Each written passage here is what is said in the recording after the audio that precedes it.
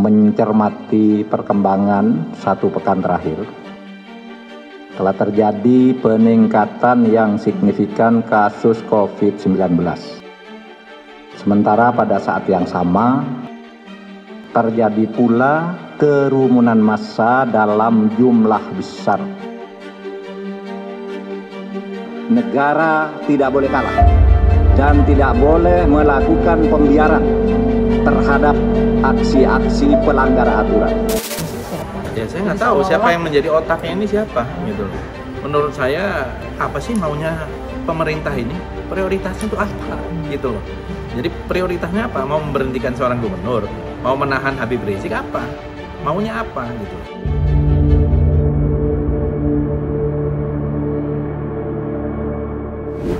Nah, ini yang lagi rame dibahas soal pemanggilan Gubernur DKI Jakarta untuk dimintai klarifikasi terhadap pembiaran, dugaan pembiaran terjadinya pelanggaran protokol kesehatan. Nah, ini terkait dengan hajatnya KRS kemarin di Tambora. Nah, sudah bersama saya ini Bung Fadli. Bung Fadli ini menarik nih pernyataan ini. Uh, bicara soal uh, bahwa pertama gubernur DKI ini polisi ini kayaknya berusaha untuk mempermalukan gubernur DKI Iya, iya. dengan memanggil Polda memanggil maksudnya apa sih? Ya menurut saya eh, jelas itu banyak hal yang janggal, yang aneh gitu. ya. Ketika ada pemanggilan itu, saya di Twitter saya sampaikan bahwa ini ada keanehan. Kalau maksudnya ini mau mempermalukan, ini justru nanti akan menjadi iklan gratis. Iklan gratis buat prime Anies. time saya Oh, oke. buat aneh. Jadi karena kan masyarakat menilai dan melihat semua apa yang terjadi di seluruh Indonesia akses berita sekarang nggak bisa lagi dipotong-potong. Ya. Nah, jadi menurut saya ini sumir ya apa yang dituduhkan ini juga sumir. Yang melanggar protokol kesehatan siapa? Makhluk yang bernama protokol kesehatan itu juga apa? Kalau itu diatur oleh Permenkes, maka seharusnya itu sanksi cuma administratif dan sudah Oke. dilakukan itu dengan memberikan sanksi denda dan sudah dibayarkan oleh juga Habib Rizik sebanyak 50 juta. Tapi tunggu, itu kan untuk si pelaku hajat, yang gelar hajat. Nah, dalam konteks gubernur harusnya sanksi administratif juga ya?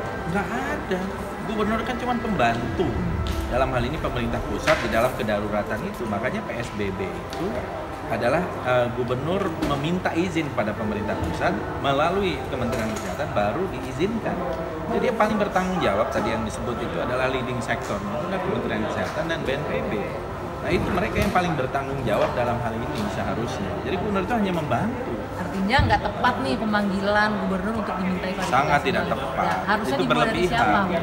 Ya kalau menurut saya harusnya eh, dimulai dari Pak Mahfud MD, Loh, kemudian Menteri, Mahfud? lo kan yang waktu itu juga mempersilahkan orang untuk datang menjemput. Oh, yang ngomong di bandara, Ya. silakan jemput kemudian, aja. eh, Menteri Perhubungan, ya kan itu di bandara, kemudian mungkin Direktur AP, kemudian baru Gubernur Banten karena itu di wilayahnya, baru Jakarta kalau misalnya memang mau serius, kemudian baru di Jawa Barat dan sebelum-sebelumnya juga banyak terjadi kerumunan serupa itu banyak file-filenya di dalam uh, sosial media di Jawa Tengah, di Jawa Timur dan di daerah-daerah lain. ini, Iya. macam ya. Jadi maksud saya janganlah uh, kemudian karena ketidaksukaan kepada Gubernur Anies atau kepada Habib Rizik kemudian membuat uh, mereka itu berusaha mencari-cari kesalahan Siapa dan sih tidak adil. Bung Fadli yang nggak suka sama gubernur Anies siapa? Ya saya nggak tahu siapa yang menjadi otaknya ini siapa gitu.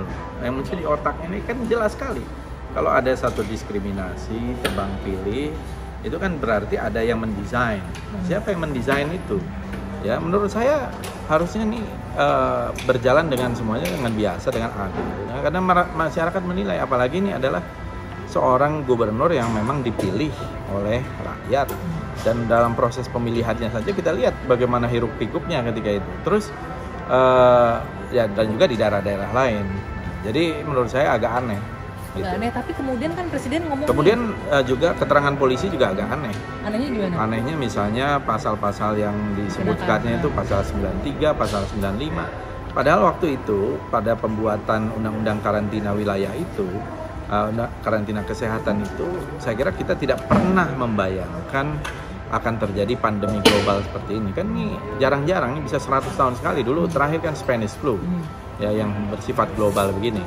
Jadi eh, tidak ada bayangannya di situ. Dan coba kita baca jelas-jelas bahwa yang eh, bisa dipidana itu adalah mereka yang berusaha untuk eh, mengganggu, Mengham- menghalang-halangi menghalang-halangi penyelenggaraan penyelenggaraan sehingga terjadinya eh, kekaran Darurat kesehatan. darurat kesehatan. Oke. Jadi itu di initial stage. dalam konteks ini Ah. Anies di posisinya tidak dalam Tidak dalam posisi itu dan Kalau juga dia bilang gini An- Anies menghalang-halangi karena melakukan pembiaran gimana? Kan sudah tahu akan ada hajatan 14 November kok dibiarkan. Ya, bagaimana dibiarkan? orang bisa tahu ya acara-acara yang sifatnya pribadi, jumlah orang yang datang dan sebagainya itu, itu kan justru harusnya aparatus yang ada di situ.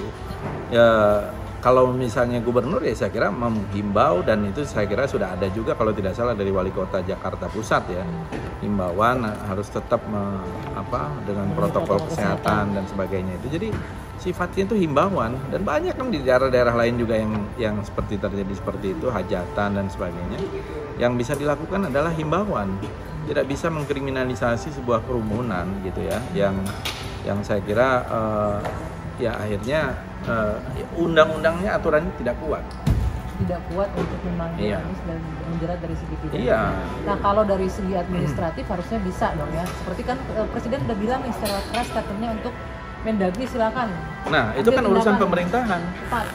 itu kan urusan pemerintahan. Saya justru menilai dari semua gubernur yang ada, yang pertama kali meminta karantina atau dalam hal ini adalah PSBB kan justru Jakarta, ya kan? Yang lain kan tidak ada.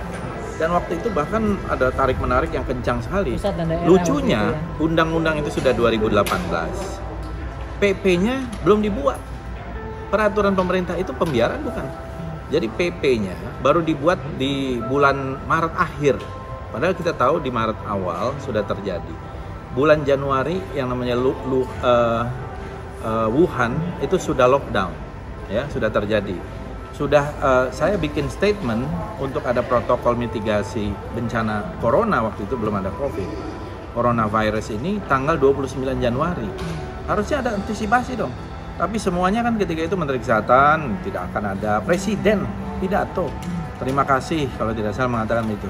Corona tidak masuk ke Indonesia. Dan bahkan membuka untuk pintu Iya. turis waktu itu. ya. Turis malah waktu itu digencarkan gitu. Itu apa namanya kalau bukan pembiaran? Lebih ganas dari pembiaran itu, gitu ya. Dan menurut saya ya sudahlah, mungkin karena itu ketidaktahuan kita terhadap pandemi ini, ya kita akhirnya maklum. Nah, tapi jangan kemudian mencari-cari kesalahan eh, karena ketidaksukaan. Itu yang menurut saya Karena tidak fair. ketidaksukaan dicari dicari-cari kesalahan. Nah, ya, ini pastilah. Bilang ini malah membesarkan Anies tadi katanya. menurut saya begitu. Jadi ini uh, dan akhirnya menimbulkan kegaduhan baru ya. Orang harusnya fokus kepada pandemi Penanganan Covid, COVID, ya. dengan persatuan, dengan kedamaian. Akhirnya dengan kayak begini kan terjadi kericuhan. Coba nanti kalau ada polisi manggil Habib Rizik kapan gitu, pasti akan ada Kerumunan lagi. kerumunan mungkin puluhan ribu, ratusan ribu orang. Mungkin karena itu juga nggak dipanggil Ya nggak tahu, saya yang nggak tahu. Jadi kan lucu, urut-urutannya aja udah salah. Ya jadi eh, menurut saya eh, apa sih maunya pemerintah ini? Prioritasnya itu apa? Gitu loh. Jadi prioritasnya apa? Mau memberhentikan seorang gubernur, mau menahan Habib Rizik apa? Maunya apa gitu? Jadi kan harusnya warga negara itu dilindungi seperti Habib Rizik ini dari awal pulang aja gaduh. Atau ada alasan-alasan politis lain yang mungkin anda cermati?